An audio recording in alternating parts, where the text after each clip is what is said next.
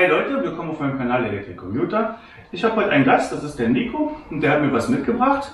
Und zwar haben wir heute hier den Ninebot Max G30D in der Version 2 und daneben natürlich meinen Ninebot Max G30D in der ersten Version. Du kommst aus Solingen, ne? Ja, genau. Und du hast dir den gekauft, weil wir mal geschrieben haben und du dir bei mir das so ein bisschen angeguckt hast Genau. und hast dann gesagt, dann kannst du den auch mal zeigen. Ne? Und so machen wir das jetzt. Ne? Nochmal zur Probefahrt geben. Ist ja schön, wenn man sowas vergleichen kann. Genau, und das machen wir heute. Ähm, vielen Dank, dass du hergekommen bist. So, wir gucken uns jetzt mal den Scooter ein bisschen aus der Nähe an. Zunächst erstmal die Anbauten, die nicht original sind. Da hast du eine Handyhalterung angebaut, ne? Und hier unten hast du einfach eine Tasche dran. Da ist aber jetzt kein Kabel und kein Akku drin. Nein, einfach nur nur Schloss. für ein Schloss, damit man das noch tragen kann. Und man sieht es auch hier rausgucken. So, jetzt gehen wir mal die Unterschiede durch. Da hole ich mir mal gerade einen Zettel. Zum einen haben wir eine andere Lenkerhöhe. Könntest du die mal nebeneinander stellen, dass man das mal sehen kann, wie viel das ist? Das will ich mal einmal hinstellen. Also ihr seht, der neue, das ist nicht viel, ne? Das sieht man kaum. Das sind so zwei Zentimeter Unterschied. Ich krieg's gar nicht auf der Kamera so richtig rauf. Das ist minimal. Wie sich das im Fahrbetrieb bemerkbar macht, das werden wir dann sehen. Dann haben wir ja beim alten G30D haben wir ja hier den, den Gashebel und die elektronische Bremse. Und beim neuen gibt's jetzt nur noch den Gashebel und die elektronische Bremse gibt's nicht mehr. Da gibt's jetzt nur noch den Hebel, den man ja beim alten auch schon hat. Anstelle des Bremshebels haben wir hier die Drehklinge. Die fand ich ja beim Meitel immer schon gut. Ähm, wobei der von Scooterhelden meinte, die klappert so ein bisschen beim Fahren. Kannst du das bestätigen? Ja, manchmal ein bisschen. Okay, gut. Wenn natürlich dann das so gemacht wird, ist nicht ganz so cool. Aber ich glaube, das ist nicht so ein tragisches Ding. Also ich glaube, da kann man mit leben. Dann haben wir hier die Lampe vom G30D1, erste Version. Und hier die neue Lampe. Und so neu ist die gar nicht. Also wenn ihr euch mal die Bilder vom G30 anguckt, der in Amerika verkauft wird zum Beispiel, dann seht ihr, das ist eigentlich nichts Neues. Das ist einfach nur generell, das ganze Design ist einfach nur von dem G30 näher empfunden. Und damit spart sich Ninebot einfach ein paar Arbeitsschritte, die sie jetzt für den deutschen Markt hier extra gemacht haben. Sparen die sich dadurch einfach ein. Die Reflektoren sind hier hochgewandert. Die waren vorher hier unten. Ähm, der Klappmechanismus, der ist ja bei meinem hier mit dem Ring. Da kann man das hier rausmachen und sichern und dann kann man rumlegen. Und hier ist das jetzt anders gemacht worden. Hier muss man jetzt dieses Teil hochziehen und dann kann man umlegen, aber der Rest dürfte gleich sein. Da gab es wohl einige, bei denen ist dieser Ring abgebrochen und diese Nase von diesem Ring. Und deswegen haben die das halt an dem Punkt ein bisschen geändert. Dann gibt's hier noch ein, neu, ein kleines Detail. Hier beim neuen ist das hier oben rot. Und beim alten ist hier das Gehäuse so ein bisschen weiß, also durchsichtig. Ja, vom Ladegerät werden wir hier das gleiche verbaut haben. Ne, dieses, da ist wahrscheinlich bei dir auch noch ein Kabel beigelegt gewesen. Ne? Und man gibt, kann man ja diesen Fast, Fast Charger kann man ja dazu kaufen. Das ist also gleich geblieben. Und ähm, was hatten wir noch gehabt? Hier, das hier oben ist so minimal anders. Hattest du gemeint? Genau. Also Und die, der Gashebel ist natürlich auch noch ein anderer. Der Gashebel, ja klar. Also der Gashebel ist hier gelb. Da sieht man eindeutig, dass das da Ninebot einfach nicht viel Mühe gegeben hat, da groß was zu machen. Ansonsten ähm, hat sich nicht allzu viel verändert. Eine Sache ist noch ganz interessant. Ähm, es gibt ja für den Ninebot auch einen Gen 2 Motor. Und hier haben wir die Seriennummer von dem Motor. Die beginnt mit einer 6. Und bei meinem ist das auch nicht anders. Da blende ich euch Bilder ein, das werdet ihr hier jetzt nicht erkennen können. Da ist auch die 6 am Anfang. Es ist so, wenn er den zweite Generation Motor hätte, dann müsste dort eine 9 sein. Und wir haben hier bei beiden die 6, das heißt, die beiden haben den gleichen Motor. Und fahren keine 40, haben aber dafür mehr Drehmoment. Fahren, also wir haben 38 geschafft mit dem Gen 2 Motor, ähm, haben aber dafür mehr Drehmoment. Also der Gen 2, der ist ein bisschen träger, der beschleunigt ein bisschen langsamer, aber dafür zieht er relativ lange mit relativ hoher Geschwindigkeit, während der normale G30D mit dem 1er Motor ja so im, im späteren Verlauf, wenn man jetzt flasht, dann geht halt die Geschwindigkeit runter so auf 26 oder bis, bis dahin. Hier den Haken, den hat der Nico selber angebaut. Der ist nicht original. Ja, eine Frage, die mich jetzt halt interessiert hatte, kann man den tunen? Und der wollen wir jetzt mal nachgehen. Also ich kann es schon mal vorwegnehmen, man kann ihn tunen. Ähm, das geht eigentlich genau wie mit dem alten. Ähm, kannst du den mal anwerfen? So Leute, wir haben jetzt einfach mal den Motor angeworfen. Und auf dem Display sehen wir, das gute Stück fährt 20 km/h. Ja, den Nico filme ich jetzt gerade mal. Ich werde jetzt mal probieren, den zu tunen mit meinem Handy. Ich habe die Bildschirmaufnahme an und hier ist die Scooter Hacking Utility. Der hat jetzt mal eine andere Nummer. Pairing, Pairing Successfully. Ihr seht, der hat die 1.5.4er Version drauf und die anderen Nummern, die kenne ich nicht auswendig, aber ich glaube, das sind auch alles die neuesten, oder? Ja, alles das Neueste. So, und jetzt können wir ja einfach machen ähm, Change Region, German Manöver. Dann piept er. Das ist ganz normal. Und jetzt äh, müsste es so sein. Schauen wir aufs Bremsleuchter. Wenn ich jetzt bremse, dann blinkt die. Das hat er vorher nicht gemacht. Und wenn ich jetzt das Gerät mal anwerfe,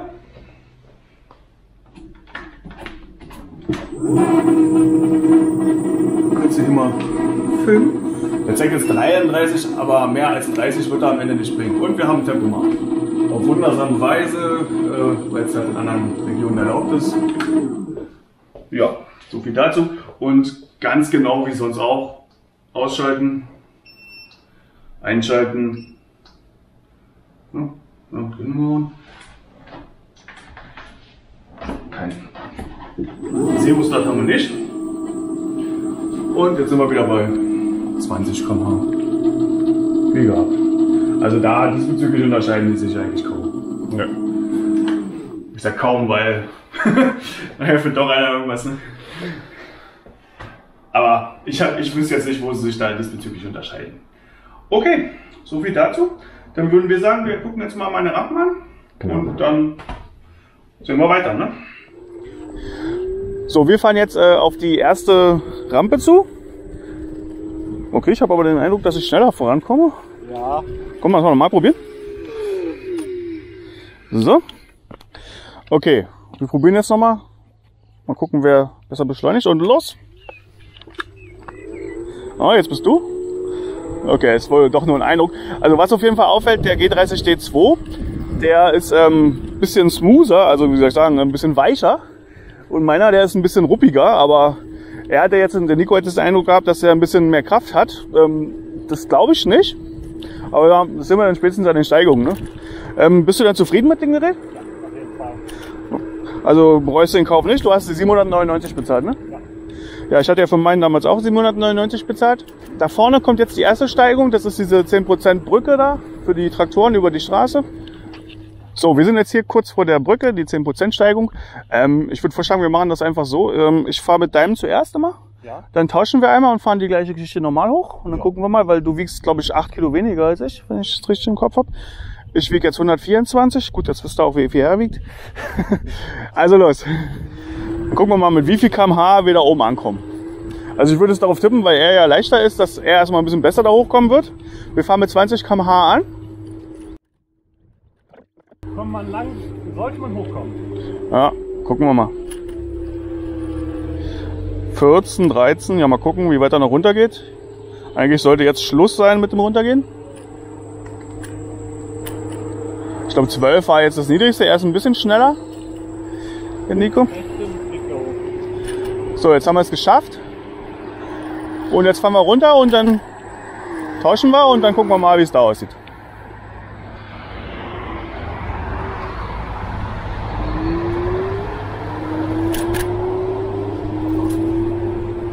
Gucken, wie schnell er runter wird. Also ich gebe Vollgas und er rollt jetzt. 28, 29, 30, 31, 32. 32 habe ich erreicht. So, zweite Runde. Jetzt fahre ich auf meinem eigenen, dem G30D in der ersten Version. Kaufdatum November 19. 2440 Kilometer hat er runter. Er fährt seine, drei- seine 20 km/h hier. Und gleich kommt die Brücke. Jetzt fällt mir gerade auf, dass du minimal schneller unterwegs bist als ich. Aber 20 draufstehen. Ja, das war glaube ich eben nicht. So, jetzt kommt die Steigung.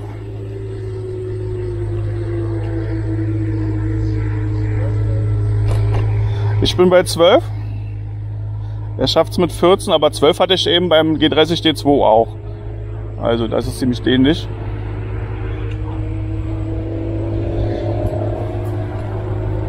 ist, äh, ja, da sind wir oben, ne? So, wir fahren jetzt wieder runter. Eben mit dem neuen G30D hatte ich 32 km/h erreicht. Mal gucken, was ich jetzt mit dem schaffe hier bergab. Ja, sind auch schon bei 30, 32. Genau das gleiche. Wie schnell kommst du da runter? 30. 30. Das liegt halt auch am Gewicht, ne? 8 Kilo und treiben einen dann schneller runter. Hoch macht das schon deutlich. Ja. ja, aber leider zu meinem Nachteil. Dafür habe ich einen beim Bergab. Ja, ähm, diesmal fahren wir mit den Scootern rüber zur nächsten Rampe. Normalerweise habe ich die ja immer ins Auto gepackt, aber die sind nicht weit auseinander, also da wird jetzt nicht allzu viel Akku weggehen. Ja, also wir fahren jetzt einmal hier runter, über den Schotterweg, rüber zur 50 Pro- 15% Steigung und gucken mal, wie der G30D2, den ich jetzt wieder fahre, wie der da hochkommt. Hier können wir mal Gas geben nochmal. Gucken, wie schnell ich werde. Aber hier, bei 30 ist jetzt ja auch Schluss. Der Nico ist hinter mir. Und der Ninebot, der bremst mich jetzt wieder auf 20.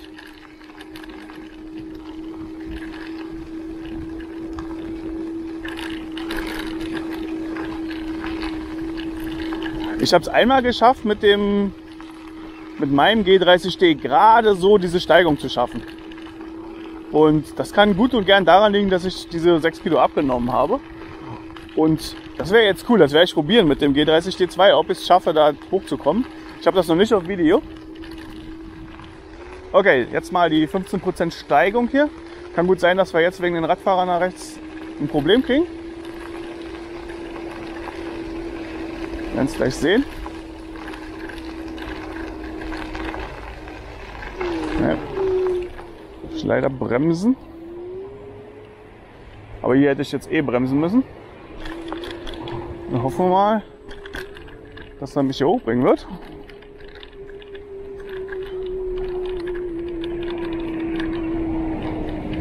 Ja, neun. Das Problem ist jetzt ganz oben wird es noch mal steiler. Aber ihr seht's, er hat es geschafft. Wow. Gut. Das ist so Limit. Ja. Zweiter Versuch. Hier muss man ziemlich doll bremsen, um rumzukommen. So, diesmal habe ich ein bisschen mehr kmh und niemand vor mir. 10 kmh.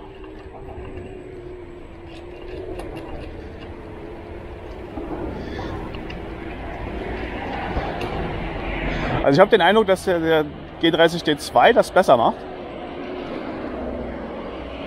Aber komm, äh, gerade so, gerade so.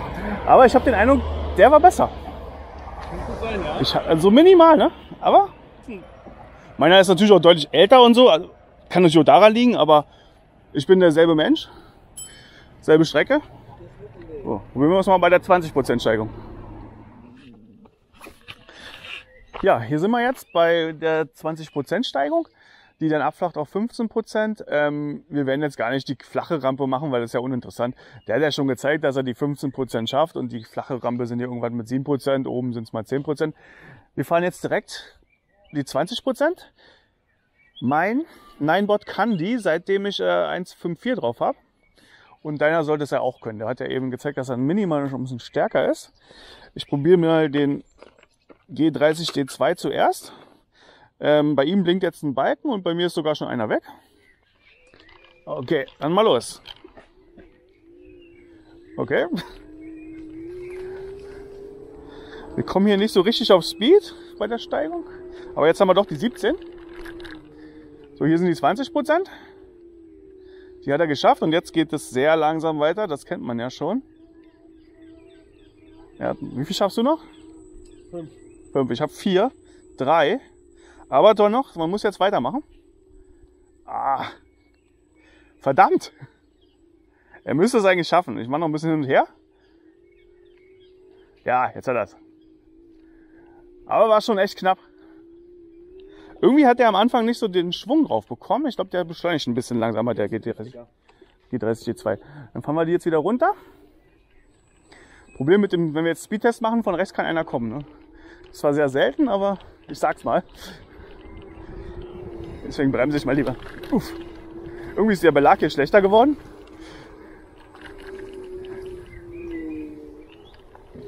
So, wir tauschen hier.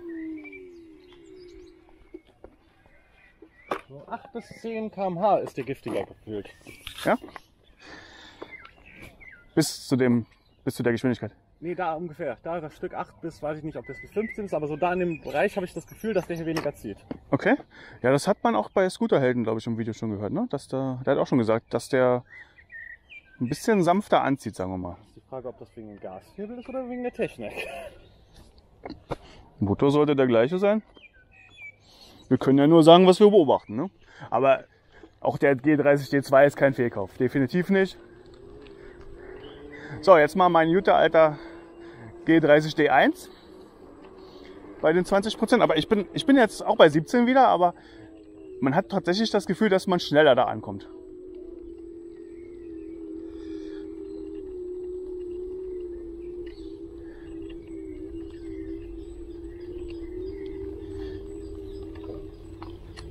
Bei mir ist es sehr knapp. Aber hier ist jetzt, glaube ich, der, der Punkt erreicht. Ab hier geht es jetzt flacher weiter. Dann kommt da wieder. Ja, also hier, das war jetzt eins zu eins das gleiche. Ob mit dem neuen oder dem alten. ne? Gut, wir gucken mal, wie weit wir gefahren sind. Und ähm, je nachdem, wie viel Zeit du hast, fahren wir den noch leer. Ja.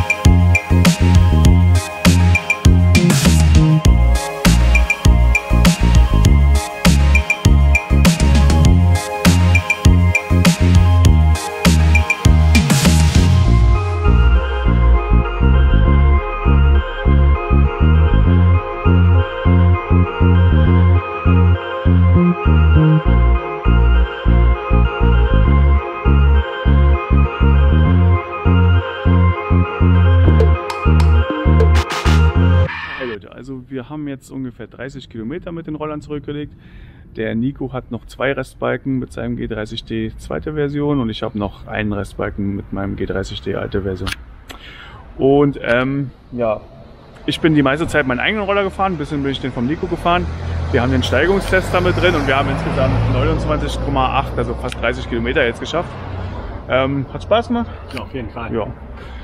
Ja, dann würde ich mich natürlich wie immer über ein Like und ein Abo freuen und dann sieht man sich beim nächsten Mal. Ne? Ciao.